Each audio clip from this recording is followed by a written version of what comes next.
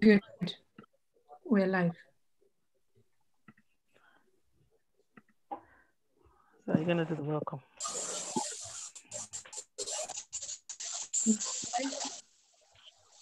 We're live. You can go ahead. Okay.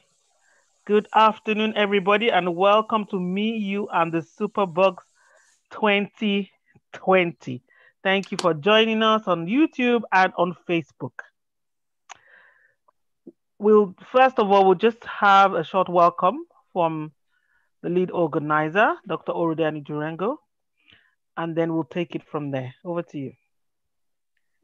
All right. Thank you, everybody, joining us from Facebook, YouTube, Twitter, all the different places you might be joining us from. I'd just like to say welcome to me, you and the Superbugs 2020 session. Okay, so me, and the Superbugs started in 2018. We had our first event on the 13th of October 2018 in Festac Town, Lagos. And that quickly grew in 2019 to three events in Ileife, Ibadan, and in Lagos as well. So we kept on repeating that event in Lagos.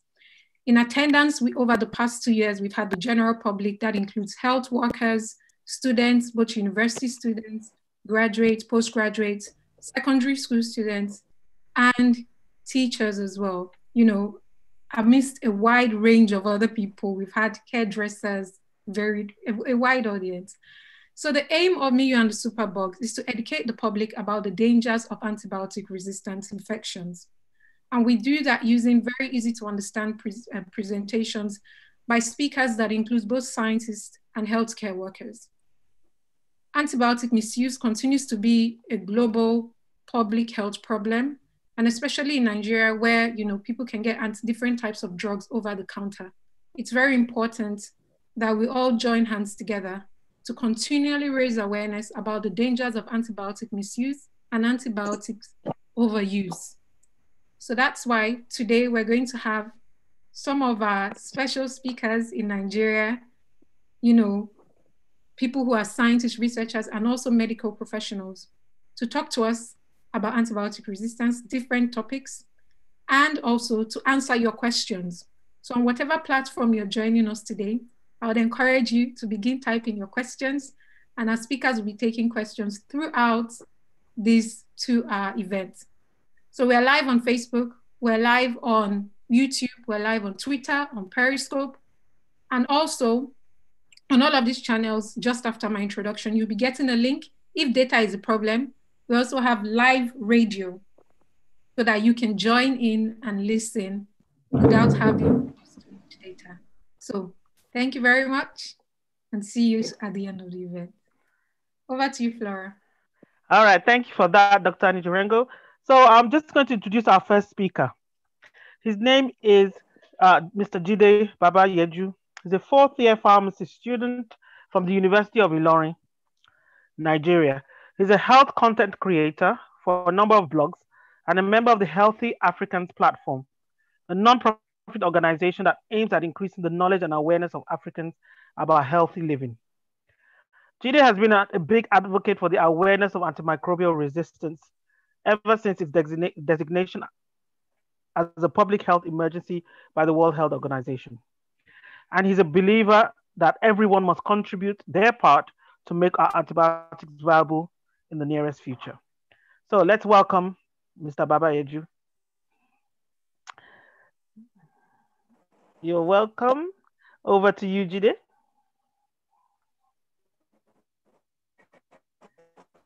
I'm glad to be here because antibiotic resistance is becoming a major public health problem. And if we don't take care in the next decade, we're going to be in serious trouble.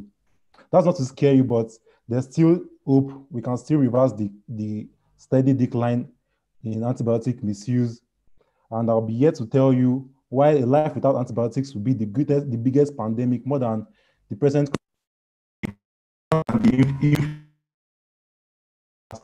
So I would like you to pay attention and presentation. Thank you.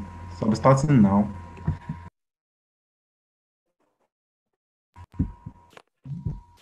Share screen.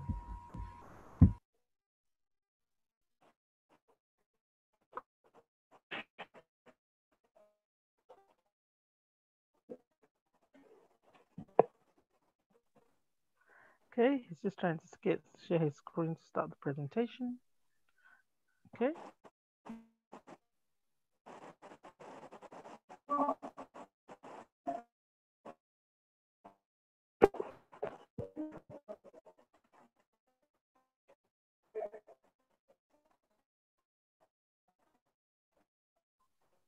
Jide, we can't hear you.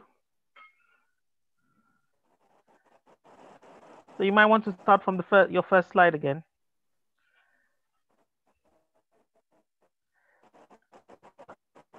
We can't hear you.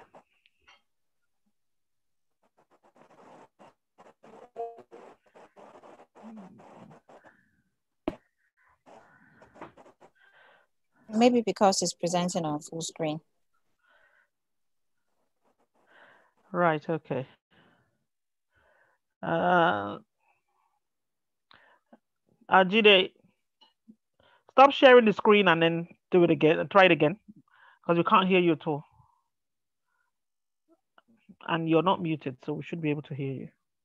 Talk now. Maybe maybe it has something to do with the screen you're sharing. Okay, go ahead, Jide. Try again. Okay, now I think there might be issues with your audio. So um, I think the best thing, today, do you want to try logging back in again? Log out and log back in. And maybe that might help. No, I'm thinking he shouldn't share on full screen. He should go back to the basic PowerPoint and let's see if there's a difference. Okay. All right, Jide. Um, just try doing it without the slideshow. Let's see if that works. If not, I think the best thing might be for you to log out and log back in again.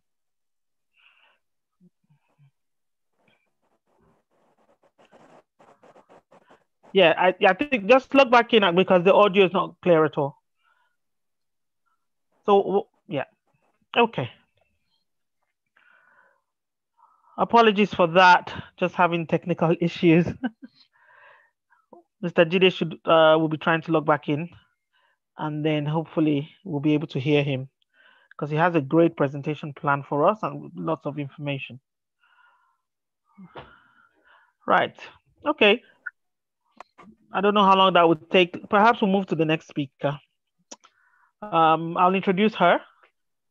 Her name is Pharm Aishat Olufadi Ahmed. She's a pharmacist. She's a teaching and research staff at the Faculty of Pharmaceutical Sciences at the University of Ilorin. Her current research interest focus, focuses on multi-drug resistant microorganisms with a specific interest in food-borne pathogens and methicillin-resistant Staphylococcus aureus. Her mission is to join other researchers in unraveling the mysteries which are hidden in the genomes of these superbugs, with an aim to stop their transmission and hope, hopefully preserve antimicrobials. So you're very welcome, pharmacist Ahmed. Over to you. Okay. Um,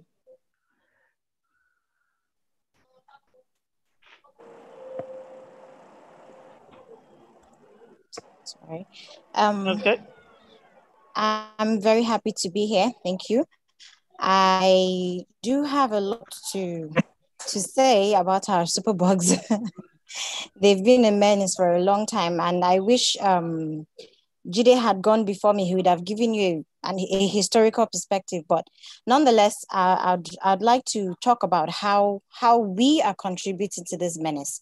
What are we doing wrong? How are we using the drugs wrong? Antibiotic misuse. Do you really need antibiotics? Do you really need, when you have an infection or an inflammation, are you sure you actually need the antibiotic? Now we're going to be talking about these on this segment, infections and antibiotics, a, few quick facts, diarrhea and flagyl use, etc. Now we'll move on with the presentation. Now, infections and antibiotics. Antibiotics are drugs that are used to kill or inhibit the action, um, the growth of bacteria, and only bacteria. They do not work on viruses. They, know, they do not work on fungi. So when you have that cold and you think it's actually bacterial and you begin to use antibiotics, you are actually misusing that antibiotic because it will not work for the cold that you're having at that time. Antibiotics are one of the great advances in medicine. Unfortunately, the misuse and overuse has led us to where we are today. That's the emergence of the resistant bacteria, and these are harder to treat. It's absolutely important to know when antibiotics are needed and when they are not. Now, fun fact, there is not a single antibiotic that is potent enough, that is strong enough, that is versatile enough to cure every single infection. If you didn't know that, I think it is high time you actually do because I, I find that a lot of people do not even know that um, Ampiclox cannot be used for certain kinds of infection. They just go ahead and use Ampiclox for everything they see, for every inflammation they see, for everything they go ahead and use it. So all the antibiotics have their different roles to play. Antibiotic resistant bacteria cannot be fully inhibited or killed by an antibiotic. This is because they're now superbugs. And what are superbugs? These are organisms that have mutated, they have evolved, they have changed such that they are able to fight the action of these antimicrobials or antibiotics when they are used. And you and I have a lot of role to play in, in this emergence of superbugs that we'll see as we go on. Now, taking antibiotics too often and at sublethal doses can lead to creation of superbugs. Now, think back to the times that you have used flagyl for every time you have a stomach upset.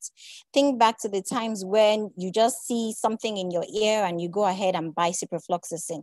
Now, we use this antibiotics so often, we just create a cocktail of um, antibiotics in our bodies. And then many times we don't even use them the way we're supposed to. Antibiotics should be used for a minimum of five days, but many times we just use them until we feel better, which means if we feel better in two days, many of us just drop the antibiotics and think it is fine. It is not. We are creating in, uh, microorganisms that are now antibiotic resistant. And did you also know that children in low and middle, and middle income countries are receiving an average of 25 antibiotic prescriptions in their first five years of life? Many times you find mothers just randomly go and tell, just buy antibiotics for their children. You know, before the child is five, they have used flagyl, they have used Cipro, they have used Ampiclox, they have used different categories of um, antibiotics. And this, what this does is that it reduces the body's ability to actually fight these pathogens does this um, disease causing organisms. It reduces the ability of the body to fight as they grow. And this also is recipe for antibiotic resistance. You know, when you just keep feeding the children with antibiotics, many times at sublethal doses, we're just creating superbugs and we don't even know it. Now, the first case, one of the most common cases that we have in Nigeria of antibiotic misuse and abuse is the case of diarrhea and flagyl and sometimes tetracycline too. Now, first thing you need to know that is that when you have diarrhea, the culprit may not be bacteria. Again, the culprit may not be bacteria. Your, your, your stomach ache might not be as a result of a bacterial infection. Not all cases of diarrhea are caused by bacteria. It might not be an infection. Therefore, the use of flagyl for every episode of diarrhea is uncalled for. So sometimes it could just be that you're lactose intolerant and you don't even know. So when you take something dairy, um, maybe you take milk or you take cheese, you begin to have that stomach upset and you think that maybe it's a bug and then you go ahead and use your flagyl. Many times you even just pop one or two tablets in your mouth and you stop. This is wrong in every way, and it's a very common problem here. Everybody wants you just ask, ah, what can I use for this? You just go flagyl. No, this is wrong. There's several other causes. It could be that you're reacting to something you ate. You know, you might be just irritable bowel syndrome. Something you ate might have just upset your tummy at the time, and then you just have to eliminate it. It's usually self-limiting. So you need to be patient and actually know what is wrong with you before you go ahead and use antibiotics. Now, do not stop at one tablet. I have seen so many people when they buy a sachet of flagyl, they go ahead and just pop one in their mouth and they go to the toilet once and it's over, knowing that the flagyl didn't even do anything, but they have already introduced sublethal dose of this flagyl into their bodies, thereby just laying foundation for chaos. Now, a little tip, ensure you're not lactose intolerant before you ingest that dairy product. That may be the cause of your constant diarrhea. Now, I've heard that some people use antibiotics to cleanse the blood. I'm shocked too. I, I, am really shocked. This is no myth. Some people actually use antibiotics such as the Ampiclox that you know, the Ciprotab that you know, as detox to eliminate toxins from their body. I don't I do not know how they got to think this or what is the mechanism of action, but word of advice, please stop it. Just don't do it. It is wrong in every single way. You can't just begin to swallow antibiotics because you feel it cleanses your system. What is wrong with your system? We have microorganisms residing in us already. I have E. coli in my stomach. It helps me with digestion. You also do. I have stuff on my on my skin. These things have the they, they have the, the certain purpose on our bodies. And we can't just begin to swallow antibiotics. There's something called superinfection. When you use antibiotics at a point even the good microorganisms on your body they are killed. And then it now gives way for the bad microorganisms to actually cause some kind of problem for instance, in women, when, when, they, when they swallow too many um, antibiotics, at a point, the, the organism that's supposed to stabilize the pH in the vaginal area, they die. And then it gives room for yeast to, to thrive. And then they begin to have thrush continuously. And they do not know why. They do not, they don't even know that it's because of the antibiotics they have been swallowing. Now, a little tip, there are several medication and home remedies that exist for detoxification. Explore these, leave antibiotics alone. Now, we do not do not, emphasis, use Ampiclox as contraceptive. The first time I heard this, I was wowed. Anti antibiotics, they kill or prevent growth of bacteria. Contraceptives, on the other hand, prevent conception by several mechanisms. They are not to be interchanged. An antibiotic cannot act as a contraceptive, and a contraceptive cannot act as an antibiotic. They are different. Newsflash, if it seems like Ampiclox worked for you as a contraceptive, you are probably not at a point in your cycle where you could conceive to start with. So conception wasn't even going to happen. So it's not as if the Ampiclox worked for you. You are just not going to conceive even at that point. Now, a little tip, there are other drugs labeled contraceptive in the market, and you just need to visit your family planning consultant. Now, not all colds are treated with antibiotics. You have to know, is it bacterial or is it viral? There's something called the flu. It's called the flu because it is caused by a virus called influenza. And there's no amount of antibiotics you can use that would treat influenza. Most times when you have a cold that is caused by, by influenza, it's self-limiting, meaning in a few days to, in a few days, it should go on its own you know, the body would have eliminated all of the viruses on its own without the aid of antibiotics. Now, the cold-like symptoms you may experience can either be caused by bacteria or a virus. So before swallowing that drug, you might want a proper diagnosis. Word of advice, before purchasing and swallowing that antibiotic, you might want a proper diagnosis. Again, not all colds require the use of antibiotics. You continue to misuse antibiotics and you continue to create a, a haven for superbugs, and we do not want that. Because some colds might be caused by viruses, the symptoms can be self-limiting. You might just want to leave it, take a lot of water, keep yourself hydrated, keep yourself bundled up, and this viral infection would leave the body. Now, acne when, when are antibiotics needed? That zits that you have on your face might not be infected. Just like many other inflammations that you might see, acne inflammation may not be infected by a bacteria. It may not require the use of antibiotics. You know, you just can't see a bump on your face and tell yourself this thing needs. I see people swallowing doxycycline all the time because they have acne on their faces. True, bacteria can trigger some inflammation, um, some acne inflammation, but not every inflammation on your face is actually bacterial. Acne in adolescents is a phase and it will pass. Just because your 15 year old has a lot of acne on their face does not mean that you just go ahead giving them different types of antibiotics with the hope of clearing it. When oils and dead skin block hair follicles, this results in an inflammation that we know as acne. You know, when the face is too oily, everything just clogs up our hair follicles, it just blocks everything, and then it swells out. That is what you see as the acne. Hormones, as well as certain kinds of food, can trigger the formation of acne peanuts, oily food, greasy food, they can trigger acne. So it's not always bacterial. So you don't always have to use um, antibiotics. You just need to wash your face properly to remove the oils, eat right, moisturize your skin, and drink a lot of water. These are the things that you require. Now, you and I have a part to play. Me as a healthcare practitioner, I have a part to play, and you also have a part to play. You never share your antibiotics just because that antibiotic worked for your UTI does not mean it will work for the other person's abscess. Just because it works for you for a certain thing doesn't mean it will work for the other person. So never share your antibiotics. Allow that person seek professional help stop self-medication. You know, some infections may be treated at home, but many require proper diagnosis and medication.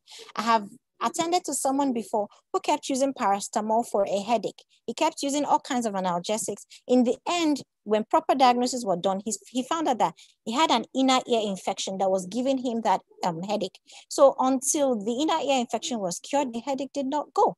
So you need proper diagnosis many times then you need to take your medications accordingly. If you're told to take your antibiotics three times a day, maybe 400 milligrams, three times a day for seven days, please take your medications according to how they are prescribed.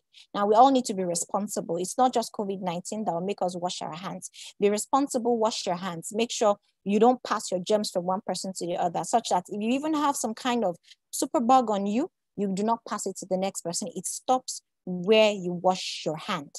And um, that's about it. I do hope you learned a thing or two.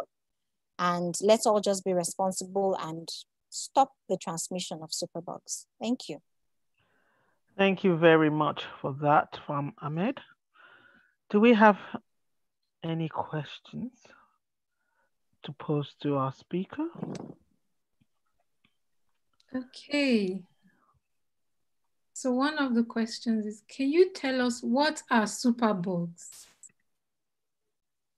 Okay, superbugs. They're microorganisms that ordinarily would be um, would be killed or their growth would be inhibited by antibiotics. But the, the, due to evolution, due to um, misuse, overuse, underuse of antibiotics, some of these organisms have gained the ability to fight the action of the antibiotics. You know, it's just like humans. If I see danger, I automatically build walls and you know try to protect myself. These microorganisms are the same. You know when they see danger they just they just build defense against this thing. So um ordinarily some of them are weak and they would actually succumb to the antibiotics. But the superbugs are those ones that have developed the ability to fight the antibiotics. They do not die by the action of normal antibiotics. So these these are the superbugs that have evolved over time mostly due to human activity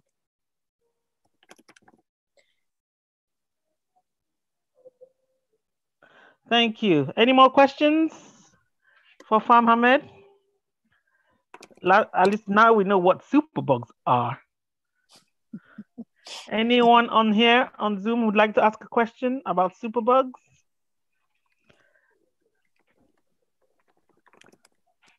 Can just raise your hand if you have any questions. If not, we'll move on to the next next speaker. Oh, you, well, the next speaker was the previous speaker. can you tell us what is what is acne?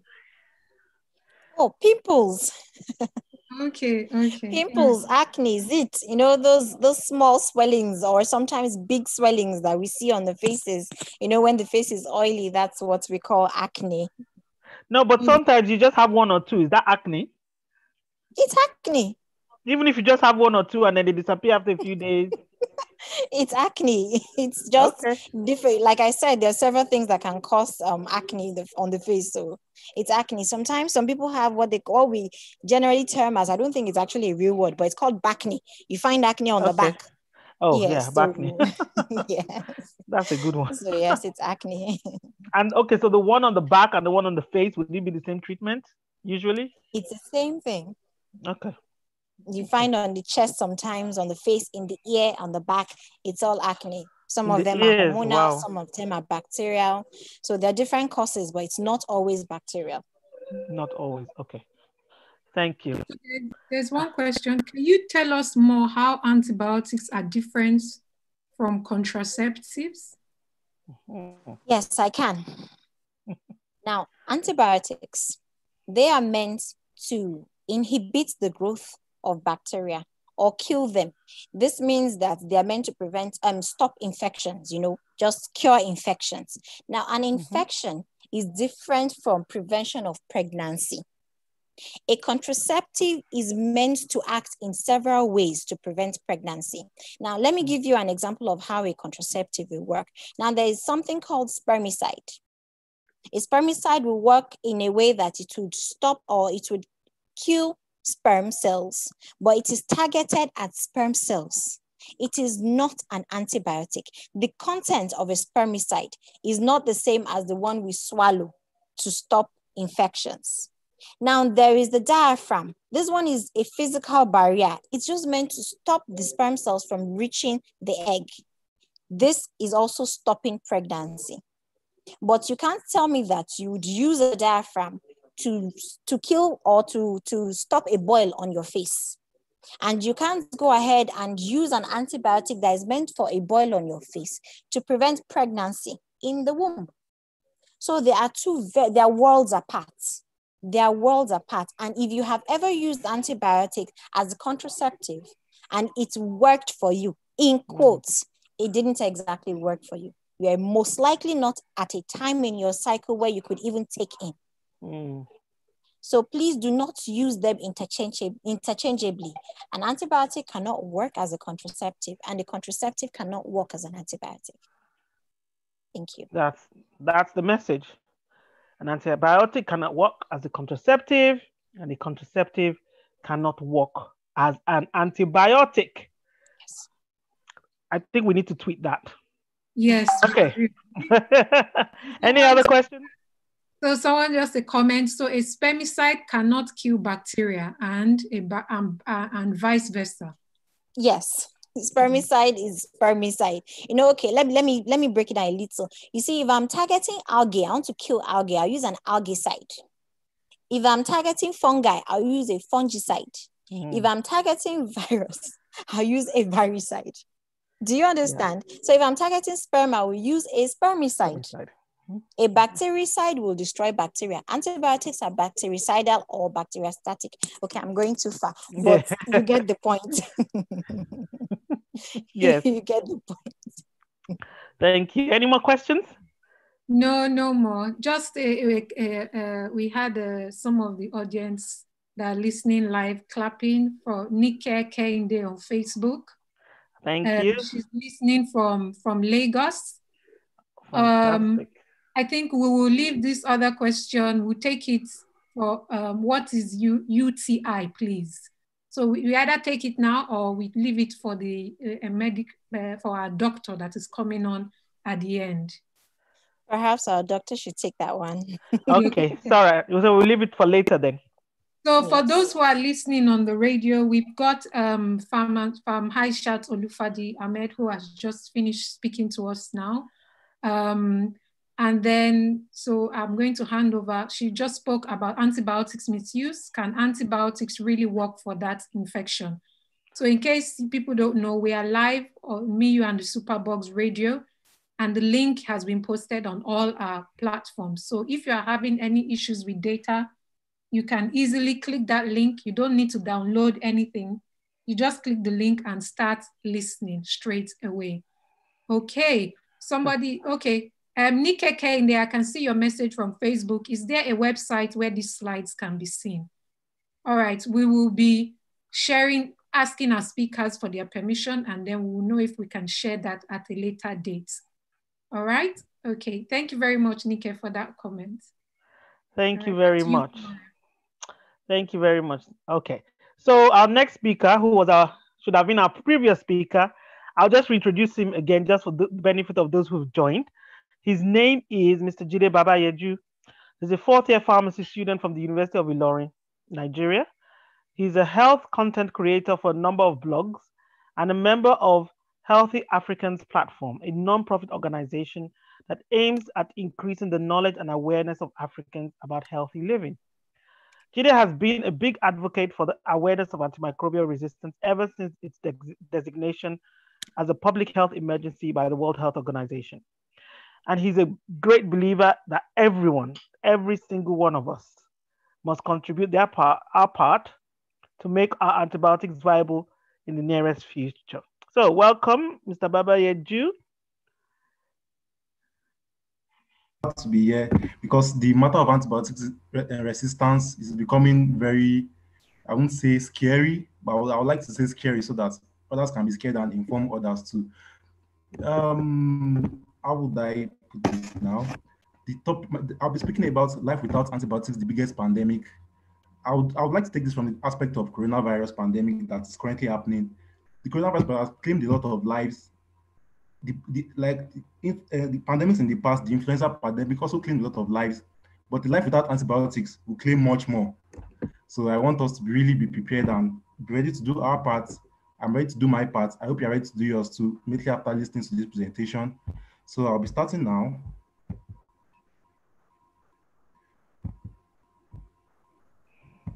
Please permit me to share my screen, ma'am. Okay. Dr. Orode, please make him co-host so that he's able to share his screen. Thank you. Alrighty. So you go ahead, Jide. You should be able to do that now. Yeah. Can you hear me well, ma'am? Yes, we can. Yes, like I said earlier, the title of my talk would be Life Without Antibiotics, the Biggest Pandemic. First off, what are antibiotics? Like many of us have gone to the pharmacy or the patent medicine stores at any point in time and asked the doctor, the pharmacist, or whoever is on duty, give me penicillin, give me ampicillin, give me tetracycline. Some might be from a doctor's prescription. Some might just be, okay, I'm using my discretion. I have stomachache. Let me just take uh, penicillin. Let me just take uh, flagyl. That's metronidazole. And some of, sometimes you might be right. Sometimes you might be wrong. But the best the best way of using antibiotics is under a, under a doctor's prescription. Don't just guess that, okay, my stomach is paining me. Ah, it would, be, it would likely be from a, a, bacterial infection. It might be gastroenteritis. That's inflammation of the of the of the um, gastric tract. Let me just take an antibiotic and it will go. But it's not it's not so. It's not advisable. So other antibiotics, antibiotics are simple medicines that can kill or inhibit the growth of bacteria to cure infections.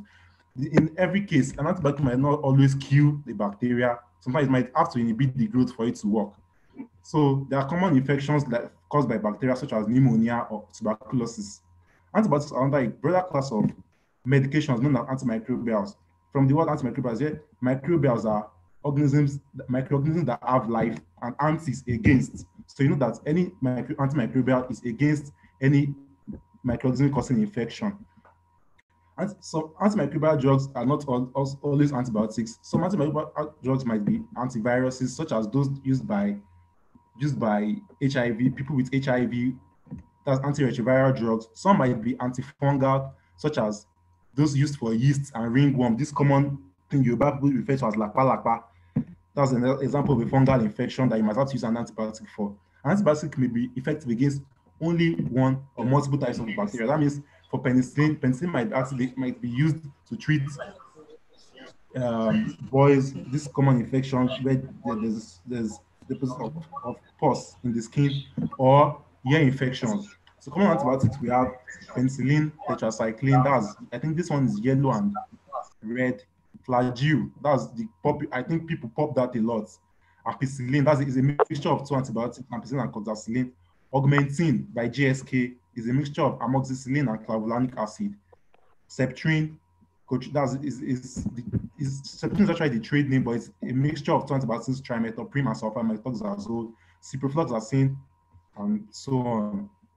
So first, now we have antibiotics, thank God. But I was like before antibiotics. Before we discovered antibiotics, infections were a matter of life and death. Imagine someone having something as simple as, as simple now as dysentery, but the truth is as cancer, where without a cure, the person is slowly losing electrolytes from the body, is losing weight.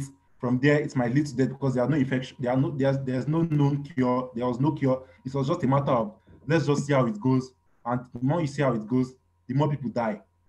Wounds, these common wounds like we have today, wounds were likely to be infected by bacteria and the absence of cure spells and amputation of death or death. It was even worse in those days because they didn't even know how infections occurred. So to even probably cover the face of the wound or say, okay, let's keep this wound fresh so that there will be no infection, there will be no chance for bacteria to attack it. They didn't know, so it was really, it was really scary back then. Yeah, infections, this common infections that we have that you say, oh, um, my daughter, get me ciprofloxacin, my son, get me ciprofloxacin, or you go by yourself say, okay, let me get ciprofloxacin, I have a ear infection, um, let me just pop the pill, and from there you get relieved. Or ear drops.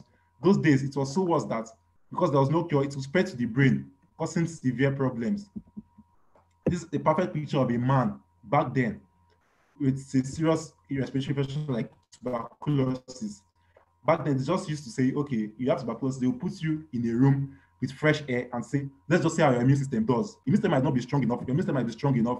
There are people that we weaken the immune system, like COVID 19 has taught us, people like above 65 years of age, like you can see.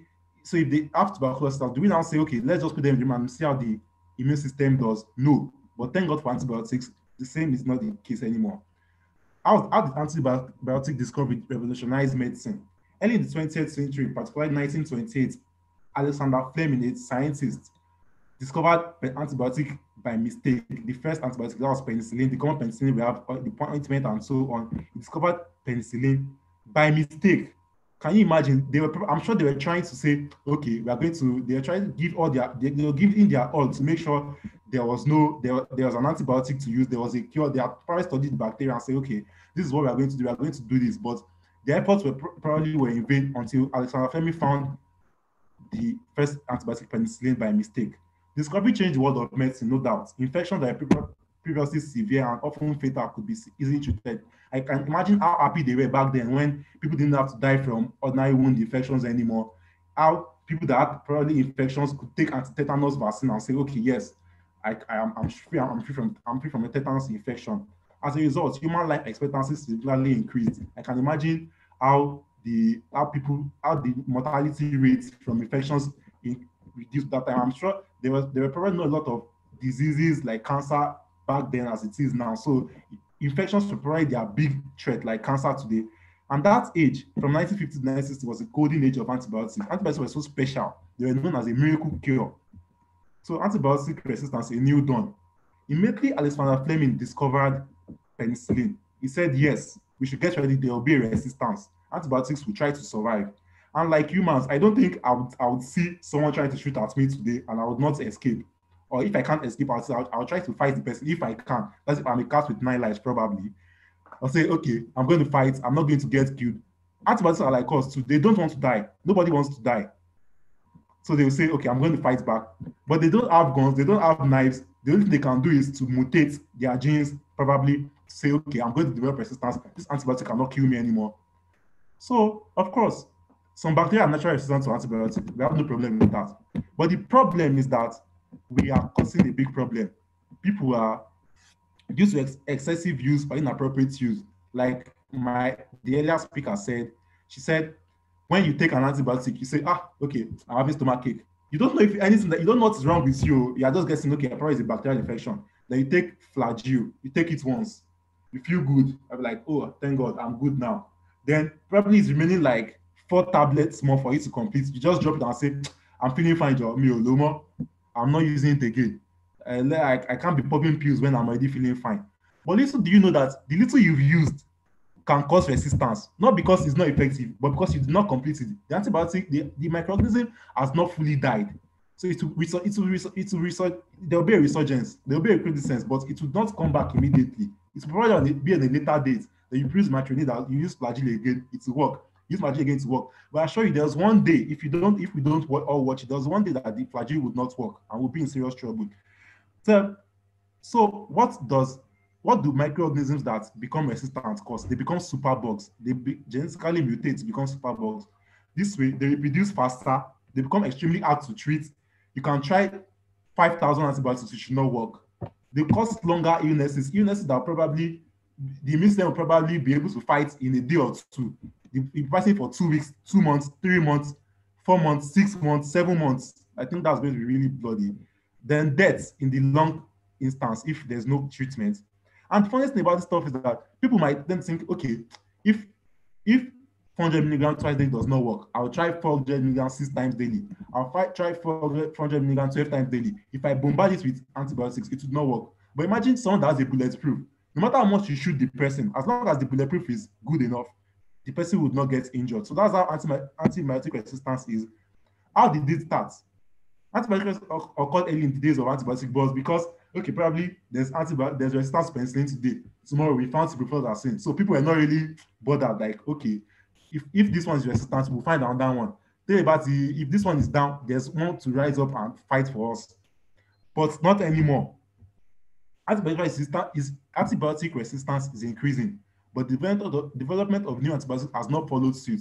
The, the, the antibiotic, unlike those days when anytime there's resistance against disease, we find a new antibiotic that can work and str that is stronger than the previous one. But the case is not so anymore. The situation is so dire that WHO, the World Health Organization, has designated antimicrobial resistance as a major public health threat. And I, I know as serious as the World Health Organization is, something simple cannot get the attention. So antibiotic resistance is a new dawn and we have to be very careful. Did you know that the last time antibiotic was developed for clinical use was in 1978? I was not even born back then.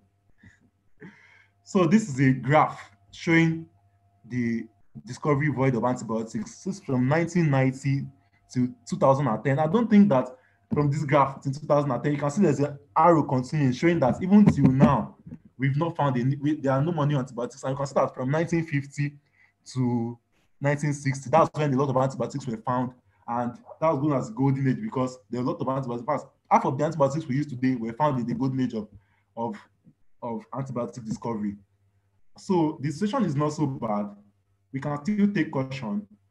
We can still save our antibiotics. How can we ensure we don't end up in life without antibiotics? How can we ensure tomorrow I don't have a stomach ache that is, is confirmed to be due to a bacterial infection? I take 1,000 days of flagyl, but it's not working. We have to make effective use of the antibiotics we have now to arrest the ever-increasing trend of antibiotic resistance. Keeping antibiotics safe is everyone's problem, it's everyone's responsibility. It's not my responsibility alone. It's not the doctor's responsibility. alone. It's not the pharmacist's responsibility alone. It's not the nurse's responsibility alone.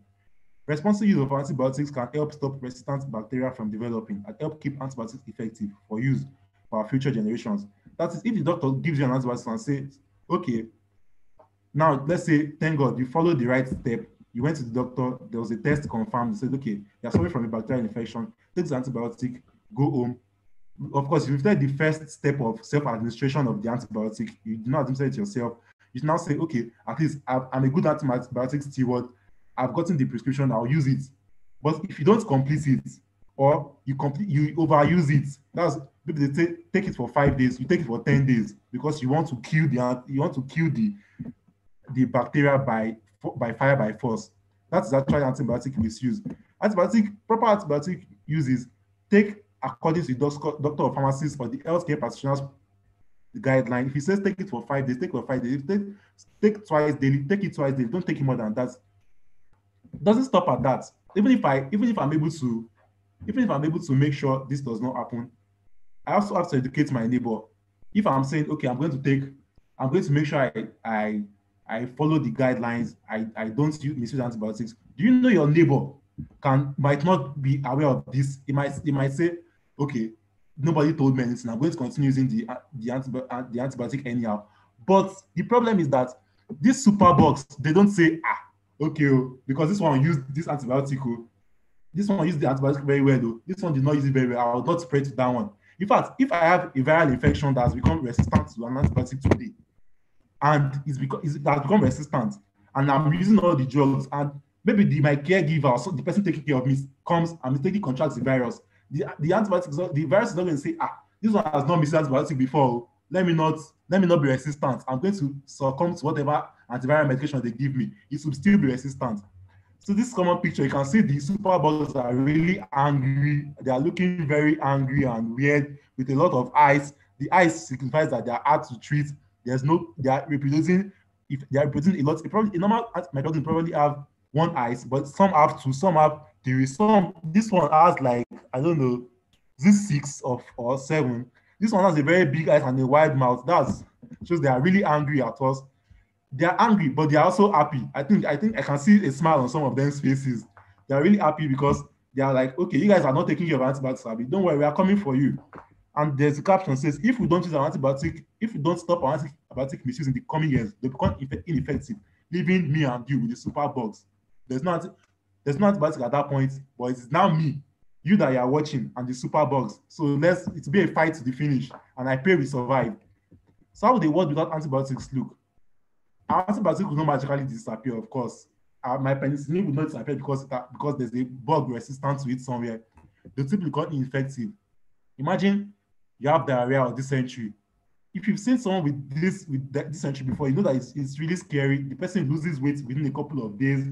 There's loss of electrolytes from the body it's a very dire situation. It become very fatal because there's no antibiotic to treat it. More people could die from post-operative infections because antibiotics that used to prevent infections are no longer effective. Do you know in the theater when there's probably an, an operation, no, no operation that I know of can be done with, on, without the presence of prophylactic antibiotics. That's antibiotics that are able to prevent infections. Infections are so are so are so scary that we, we don't even know if they are there or they are microorganisms, but we also have to prevent them. Now imagine where now, thank God for knowledge, we know we can prevent them, but the, none of our antibiotics are working. That's it's going to be a really deadly situation. Imagine excreting a pain from, a, from an ulcer. There's a type of ulcer that is due to a bacteria, Helicobacter pylori. It's become interesting about this type of ulcer is that it's, a, it's treated with the triple therapy of two antibiotics. Now imagine in a world where antibiotic A is not working, antibiotic B is not working, we have no antibiotic to use. The person continues suffering from the ulcer. There is no cure. There's no antibiotic to use to kill the bacteria. And with time, you know an ulcer progresses from an, it becomes an open sore. There's degradation of the gastrointestinal tract. Everything is finished.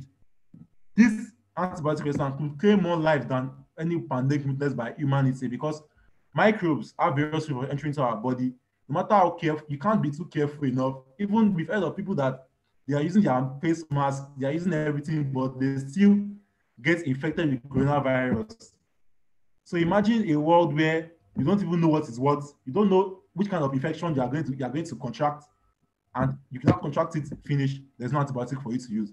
Unlike, unlike a pandemic where there's a single infection, now, the coronavirus pandemic, we know we are battling against SARS-CoV-2 is the causative agent. We know that yes, this is what this is what we are against.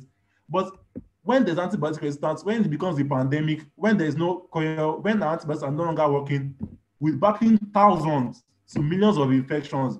Even myself, I don't know how many infections are out there, but I know there are so much. There are so much. Microorganisms are ubiquitous. You don't know where you can find them. So imagine when we are battling thousands of infections that are multi-drug resistant no drug will give it to work. No, the dose would not, the dose is useless because no matter how much you use it, it will simply not work. This is a call to action. It is my responsibility and yours to make sure this doesn't come to reality. It doesn't stop at you making sure you don't misuse antibiotic. It's, make, it's, it continues at you educating your neighbor, educating those around you. If you see someone using antibiotic anyhow, don't share your antibiotics. I can't emphasize it enough. Do not share your antibiotics. You don't know what is wrong with the other person don't share your antibiotics. Make sure you are good antibiotics steward by doing this. In conclusion, we must make judicious use of our antibiotics that are left.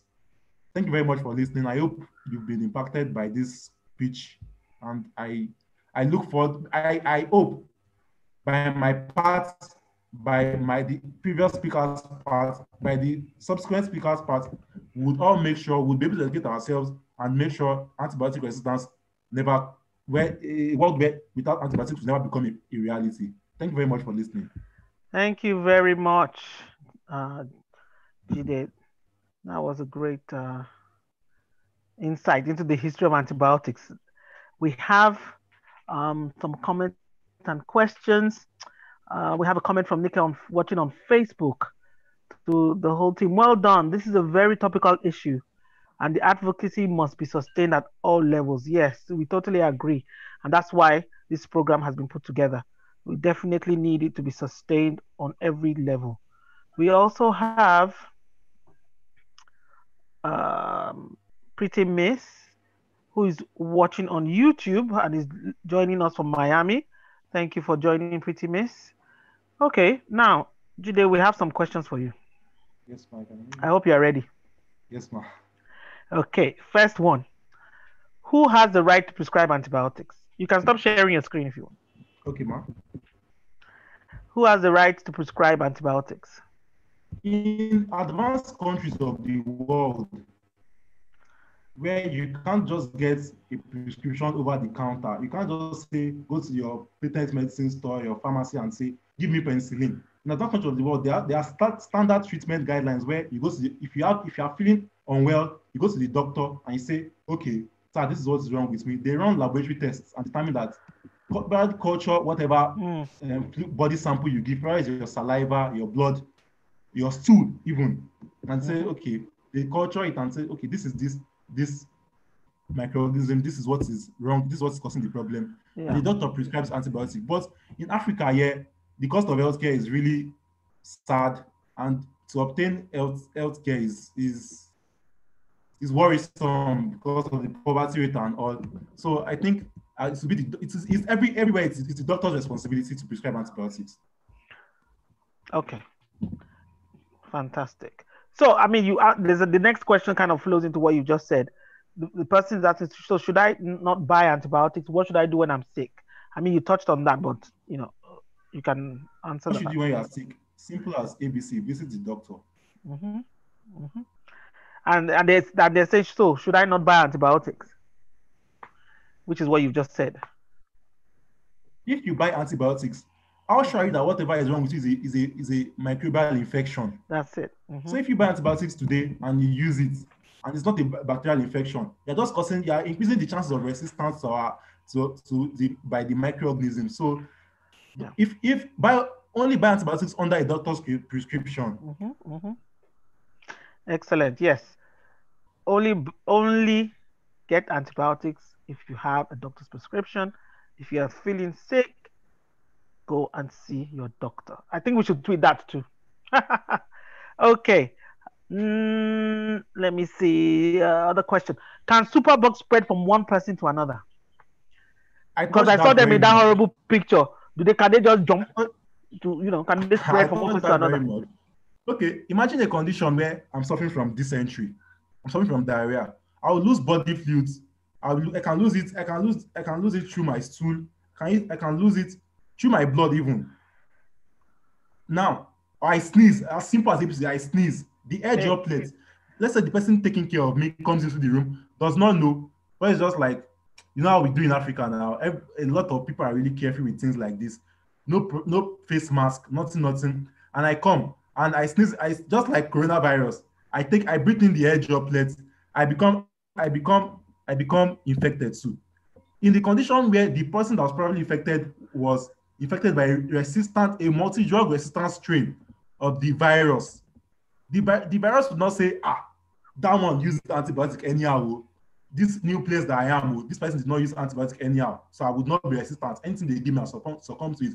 The the the bacteria, the the the virus is resistant, regardless of whether whatever the host is, whether it's a woman or a man, from young to old, is resistant to that antibiotic. There's nothing more you can do about it, as long as it's that strain that is resistant. Wow, thank you. Hmm.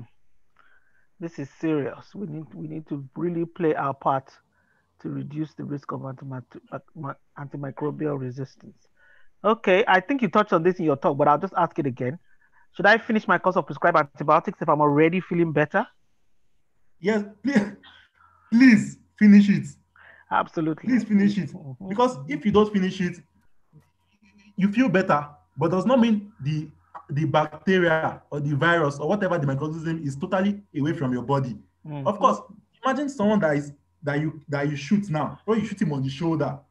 He's losing blood, but he's not dead. He's half dead. The person can seek treatment, just like our antibiotics. Are, just imagine this this bacteria or this virus or this microorganism as a as you see yourself. If you Mm. are down, won't you seek treatment? The point the anti the, the and the micro of course the microorganism will not leave your body to seek treatment. It will seek treatment in your body because they are like us. They are they, let's just say imagine they have an immune system that can repair itself Mm. it tries to repair itself and become good it become better. And just like infections are nowadays if you if you are down with an infection once the number the immunological response that is the way your immune system responds to it in in the in the, in the first case would not be the same way it responds to it in the second case. It becomes stronger. There'll be more and there will be more antibodies produced. So imagine these microorganisms like us too. The second time they try to infect you, they'll become stronger this time. And there's a possibility that the doctor might even, okay, probably he says this this first time, take it, take the antibiotic twice daily. You come back, say, doctor, I'm not feeling well. And there's a there it is a sure, it's confirmed that this is what is wrong with you. This is the microorganism causing it. Doctor will say, okay, in this instance, I think this this this microorganism is stronger. Mm. And it's, the doctor will probably say, okay, increase this dose, increase the dose, take it three times instead of two times I took it before. So that that's the case here. Thank you very much. Thank you very much. If you have any more questions for the speakers, maybe you, ha- you're, you know, you're just thinking about it now, just put it in the chat box. Uh, I will try and answer them later. Please do, you know, ask questions, make a comment, and let's uh, get some answers for you. Thank you very much, Jide. Thank you. Okay. We'll go to our third speaker now, and I'll just introduce her. Her name is Dr. Nwamboko. She's a medical doctor specializing. So she's a med- she's a medical doctor and and practices as a GP, a general practitioner, at Bethesda Family Clinic in Lagos, Nigeria. She has over 30 years experience, both home and abroad, and she's an antibiotic guardian. She actively works to raise awareness about antibiotic resistance within the multidisciplinary healthcare team and amongst the general public. You are welcome, Dr. Nwamboko. Over to you.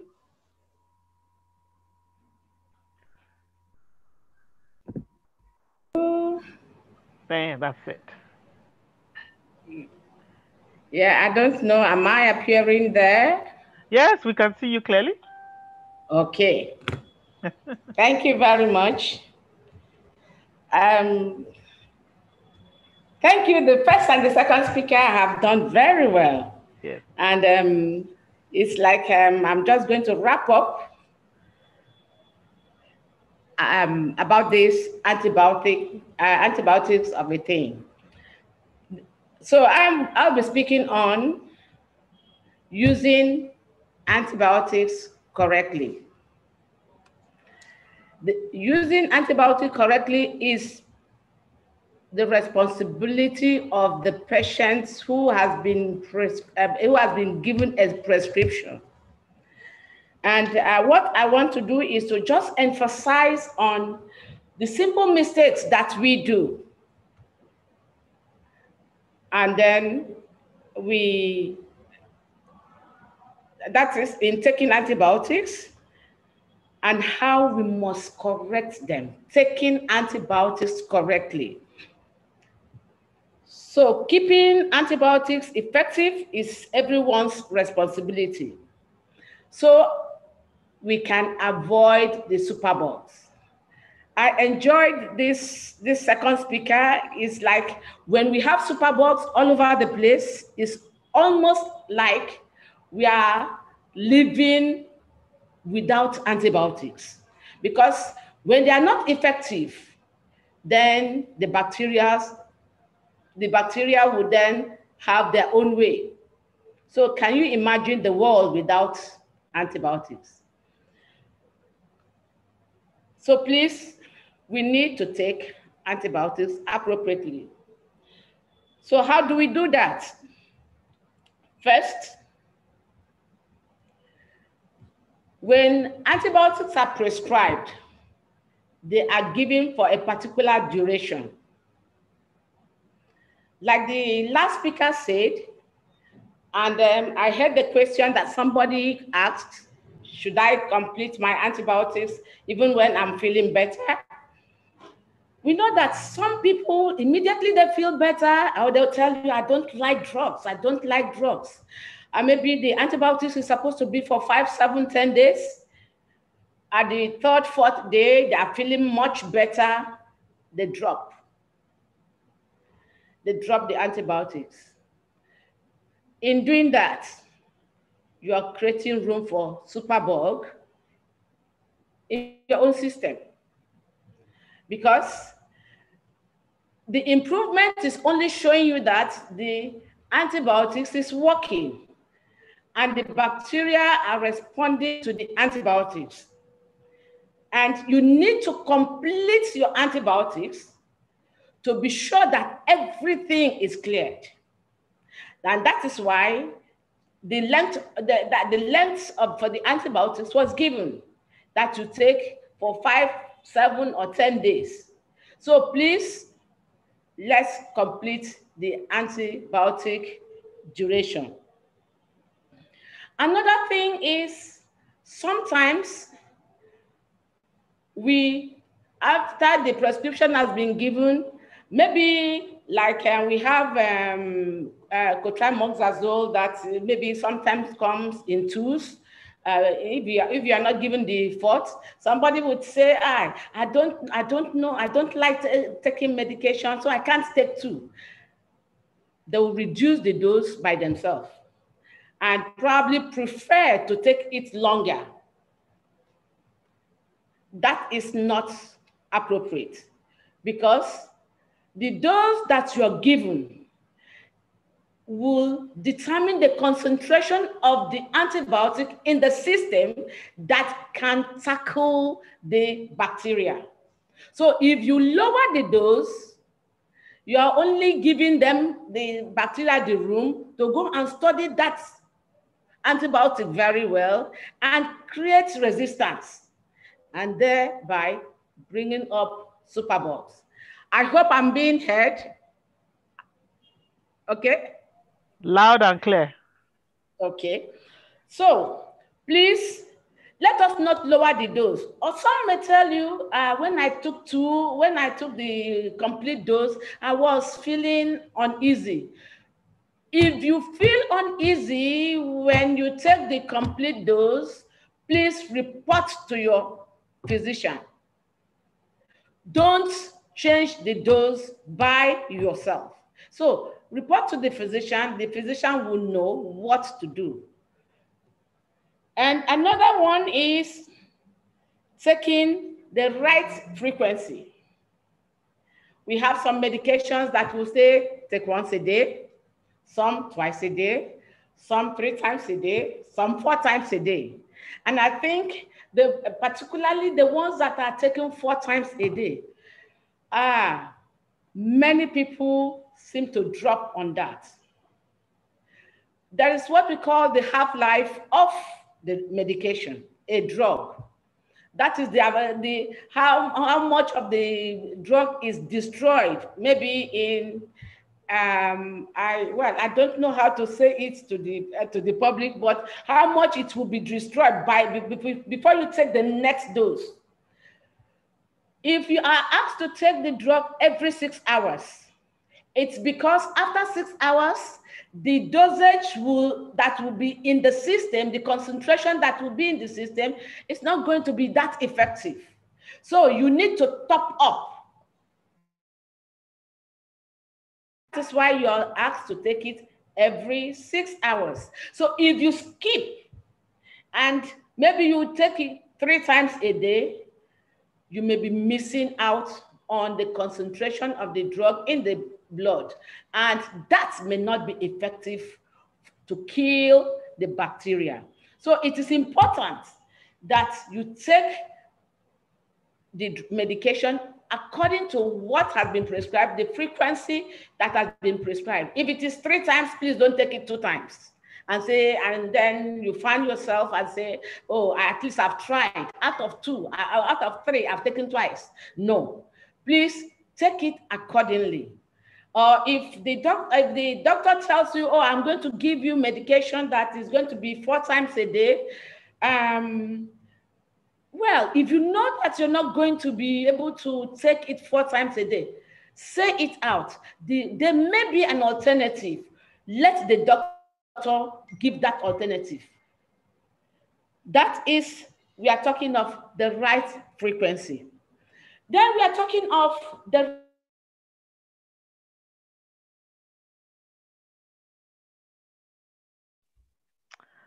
Okay, it's just a slight pause in the network.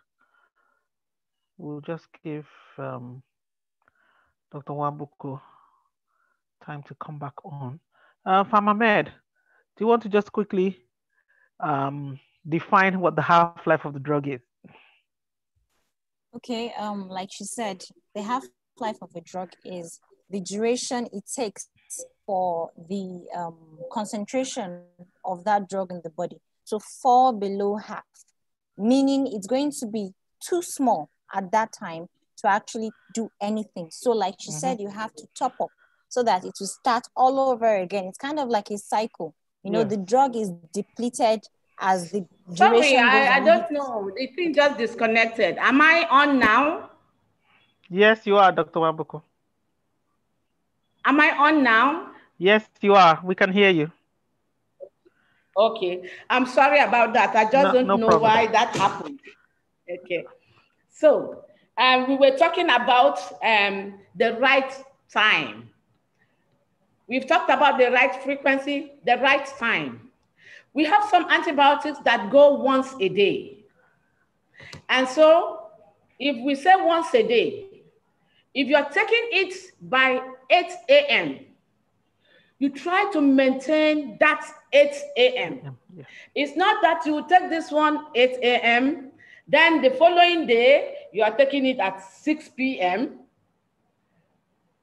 20, I mean, more than 24 hours in between. So the right time is also important. Try to take it at about the same time, plus or minus 30 minutes, maximum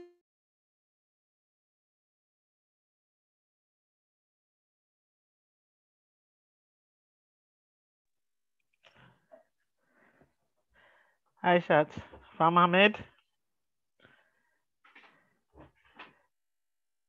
Ahmed.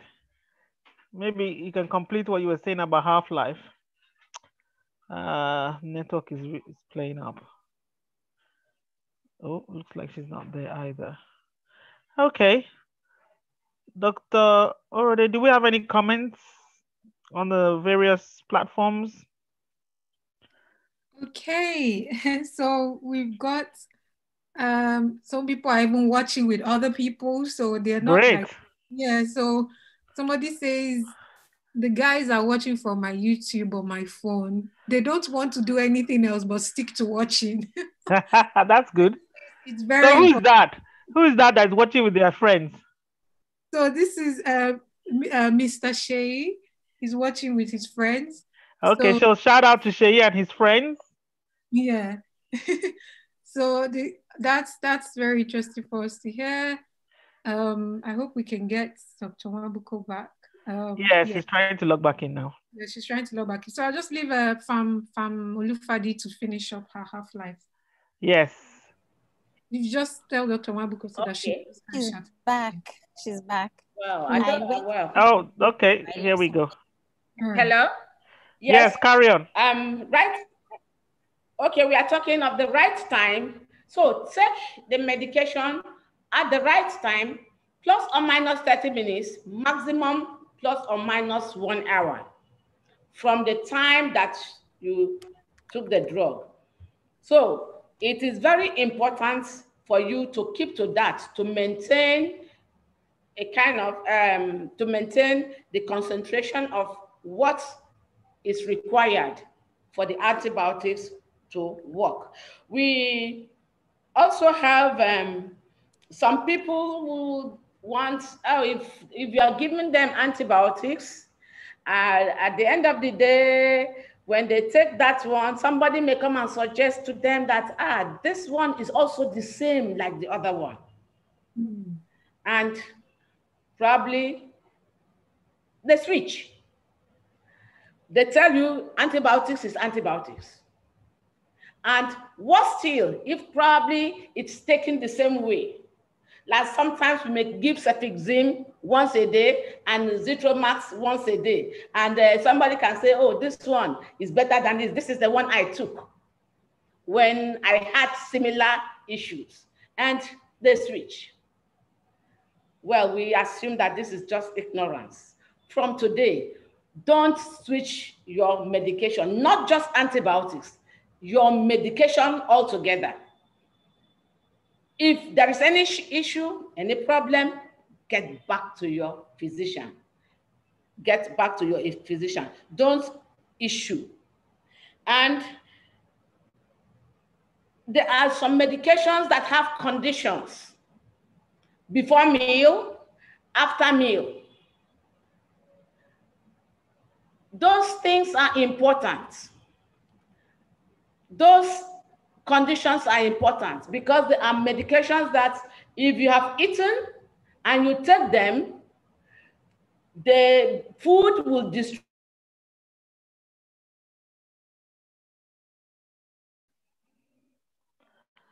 Okay. Dr. A, any more comments or shout outs? on the platform? No, not for now. It's just people are so interested in hearing what Wabuko has to say. I like what she just said about don't switch your medication. Absolutely. You can't switch them. He says if there's any issue, any problem, get back to your physician. Absolutely. Don't switch. Yes. This is not like um I'm trying to think. This is not like um, MTN and Glo. You can't just switch you. There's no porting for medication, please. Yes, no porting. You stick you, you stick to what doctor has given for you. It's specific to you and it's for you. Dr. Wamboko, are you back? Can you hear me? Yes, I, in fact, I'm switching. Uh, I was using the my computer before. I had to quickly switch over to the phone. That's fine. Just carry on. We can hear you and see you now. This so, network. Hear me? I think there's the super bugs have entered the Dr. Wambuku's. Uh, can you see network. me? Can you oh, hear me? Oh yes, yes, yes, yes, we can. Okay. All right. So, so please, yes. So uh, we're talking of the conditions under which we take the medication before food or after food.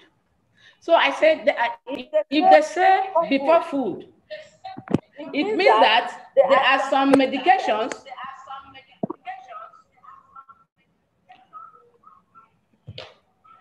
So there are some medications that that don't like food. So, sorry, let me mute.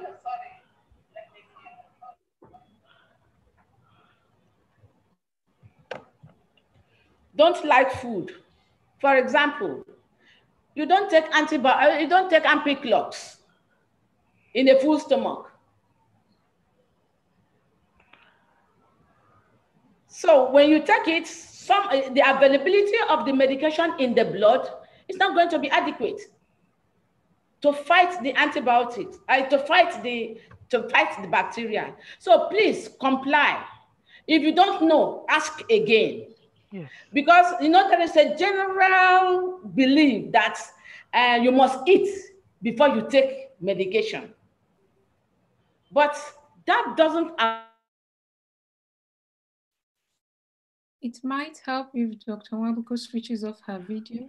Yes, I was about to suggest that. Um, we'll get her to switch off her video next time she comes, when she logs back in. So interesting that we shouldn't. Yeah. Anybody in the room want to comment on that? Did you think you had to eat all the time before any medication?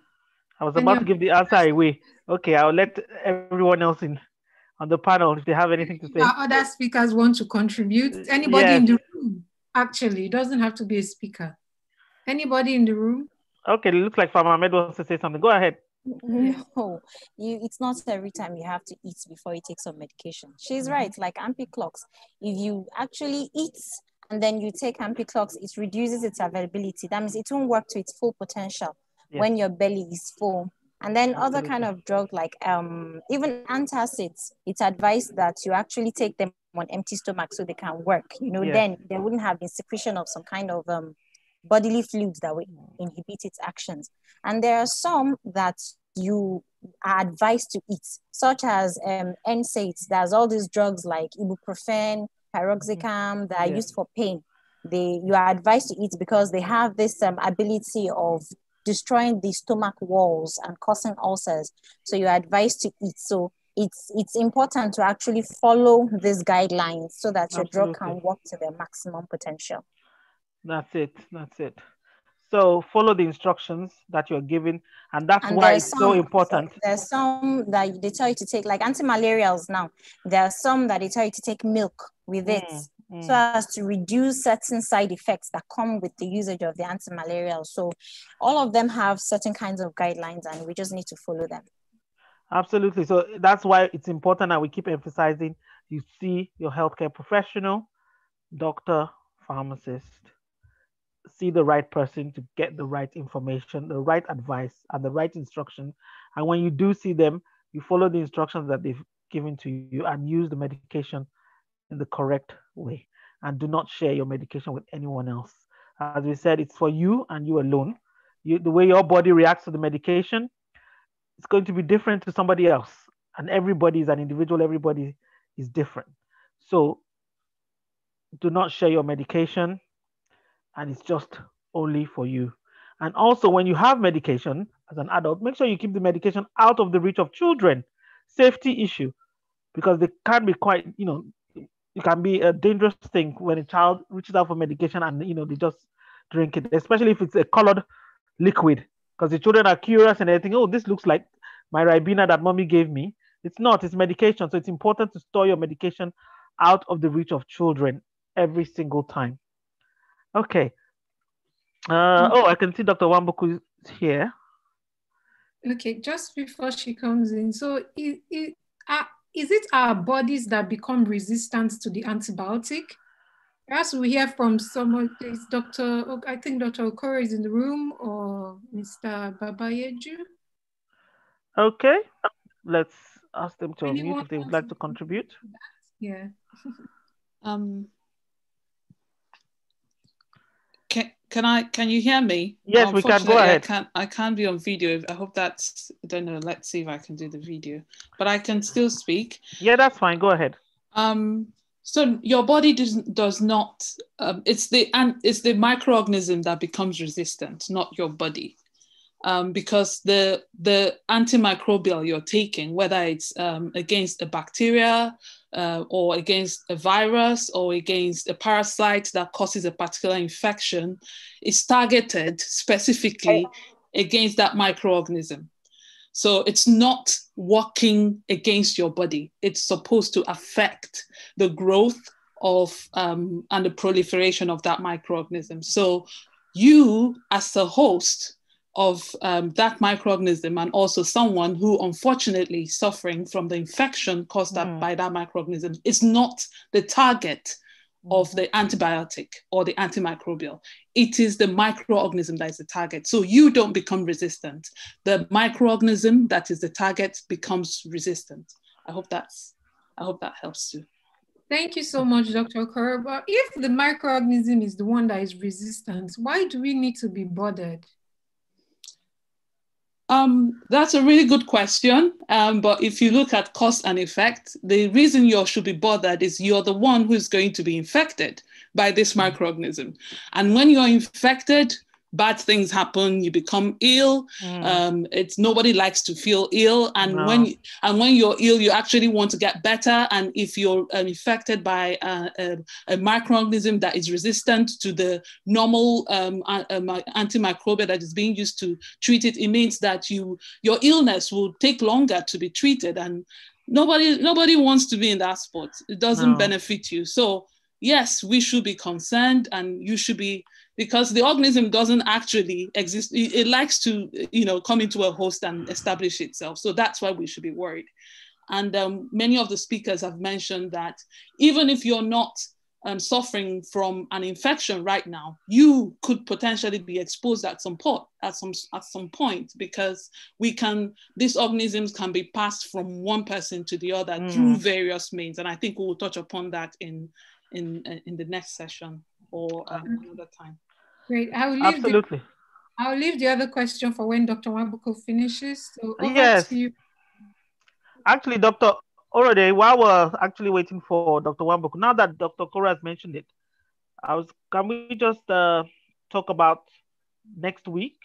We have another session next week. Yes, we do. I will talk about that. Let Dr. Wambuku finish. Ah, she's back. She heard me. She heard me. All righty. Okay. Yeah. So if she switches off her video, then I think the network might be better. Yes, but I think she might have gone again. No, All right. She, she's there. She's there. I can see her phone. Dr. Wambuku, if you can hear me, just mm. say, just indicate. Okay. I will let Pharm Ahmed finish what she was telling us about half-life and okay. uh, drugs. Yes. I think you must start again so that you know people can remember what you were saying because we said so many things after that. Okay. Um, we're talking about how your dosage goes. Sometimes mm-hmm. yeah, some drugs are prescribed um, for 12 every 12 hours. Some are prescribed every 24 hours. Some are prescribed every eight hours. Now, Yeah. it's important that you actually stick to the timing because Mm. drugs depreciate as the time progresses. Now, before the eight hours that you're supposed to use your next dose elapses, during that period, the drug continues to depreciate in the body because, of course, the body is using it up. So it continues to depreciate and then it reaches a half life where it is actually too low for any action in the body. And by the time it reaches that half life, the eight hours would have been hit, and then you use the next dose or you top up with the next dose. So it's kind of like a cycle, it runs like that. Before the next eight hours, it continues to depreciate. The body continue, continues to use it up. You know, it is changed in the body, it works on the body. And after that eight hours, you're supposed to top up because then it would be too low for the body to actually use it. Okay, so that is okay. that is just in layman's term, that is what Mm. half-life is. Okay. So the half life is just basically what the body what what the body is doing to the drug once you take it. And how long Yes, it- yeah. exactly. Yes. And you know, the body takes- continues to use it and then it's at half life, basically. You know, it's at it's, when something is at half life, it won't function maximally. You know, I imagine something happened and for some reason, um, I'm just had to rejuvenate. So by the time it gets to the half life, it has to actually rejuvenate. Yeah, yeah, yeah. Okay. Thank you very much for that. Dr. Waboko, I uh, I think So to be it might be better. Allow her to take the rest. Yes, thank you. I think it's better for you to have your video off, and then perhaps if we just do audio, that might work. Dr. Wambuku, can you hear me? Okay, so just, I think you should carry on your presentation, but with your video off. That might help the network. Okay, Let me, okay, to off the video. yes, and then just do audio. Uh, okay. Let me see. Thank you.